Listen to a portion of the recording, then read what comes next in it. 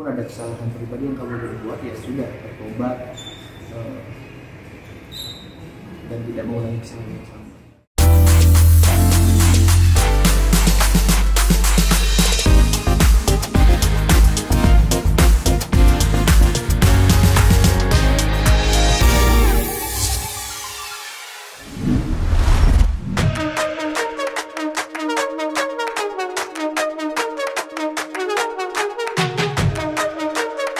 Kesabaran dalam menanti kehadiran sang buah hati akhirnya berbuah manis. Setelah menanti cukup lama, pasangan musisi sekaligus influencer Nata Reza dan Wardah Maulina akhirnya akan segera memiliki anak pertamanya pada bulan November mendatang.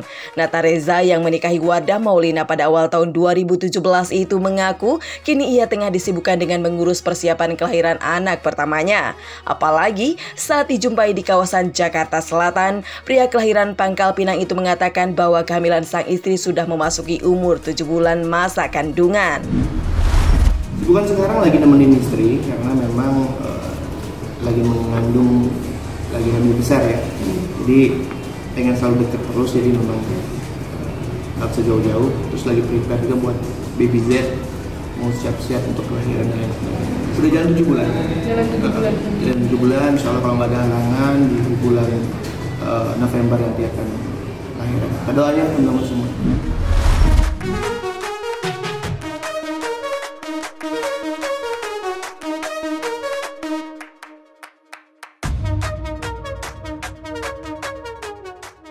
Di tengah kabar bahagianya itu rupanya tersimpan kabar kurang menyenangkan yang datang dari salah satu sahabatnya yakni Alvin Faiz. Anak pertama dari mendiang Ustadz Arifin Ilham itu kini tengah diterpa berbagai berita miring seputar kehidupannya. Mulai dari isu pernikahannya yang kontroversial hingga diduga menggunakan narkoba jenis sabu-sabu. Sebagai seorang sahabat, Nata Reza tentu tahu betul dengan apa yang terjadi pada Alvin Faiz. Pria yang memiliki nama lengkap Reza Pranata ini akhirnya pun turut mengomentari mengomentari perihal pemberitaan yang terkait dengan sahabatnya itu. Melihat pemberitaan hari ini ya sebagai sahabat ya sedih lah. Walaupun mungkin ada kesalahan yang dia perbuat tapi ya itu menyangkut masalah pribadinya. Ya, support yang bisa diberikan yang hari ini adalah ya, jadi mendoakan beliau mendampingi beliau dan, seperti itu yang bisa diberikan walaupun memang terlihat kalau ketemu itu selalu nggak kayak nggak kelihatan nggak ada masalah gitu. Karena memang uh, itulah Alvin. Alvin selalu bisa menyembunyikan apa yang dia rasakan di diri dia sendiri. Ya aku sampaikan aku tidak bisa terlalu banyak berbicara terkait itu karena ya aku nggak tahu masalah pribadi dia itu. Dan aku juga memposisikan diri aku menjaga perasaan pihak-pihak yang terkait Cuma kalau masalah narkoba ya aku berani membantah itu berita hoax. Itu berita yang cukup kocak dan mengesalkan gitu. Kocaknya karena ya aku selama bersahabat sama beliau itu kita udah safar ke mana-mana sering olahraga bareng ketemu bahkan untuk sebatang rokok aja belum pernah dengan mata kepala aku sendiri lihat belum pernah jadi kalau beritanya narkoba apa gue agak sedikit miris nih gitu membantah berarti membantah aku membantah.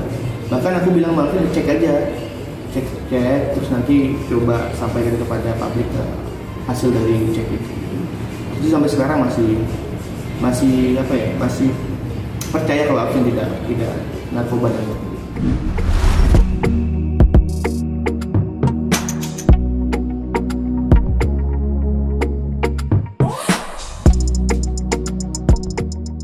Tak hanya itu, Nata Reza juga menyangkal bahwa suami Heni Rahman itu menyelewengkan dana umat Yayasan Azikro, sebuah yayasan yang dibangun oleh mendiang Ustadz Arifin Ilham. Baginya, Alvin Faiz tak mungkin melakukan tindakan tercela tersebut, apalagi ia tahu betul bahwa sahabatnya itu merupakan sosok yang baik di matanya. Nah kalau itu aku klarifikasi itu gak betul. Karena sekarang kita bisa lihat bareng-bareng kok rumahnya Alvin seperti apa, kita bisa tahu semua lah terus uh, gaya bersosialisasi Alvin seperti apa? Bahkan kalau kita lihat cara berpakaian Alvin kita lihat nggak nggak ada tuh brand-brand dan lain sebagainya gitu. Nah, aku kalau aku sebagai sahabat sih yang sering bareng jalan ya buat ngabur-ngaburin lu enggak kadang-kadang juga aku yang traktirin kok gitu. Jadi itu nggak benar-benar. Sosok yang humble sosok yang baik sosok yang ceria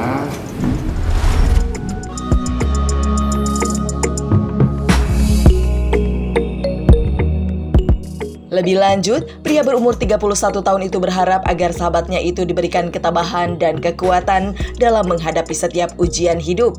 Ia berpesan agar Alvin Faiz tak mengulangi kesalahannya yang terjadi di masa lalu.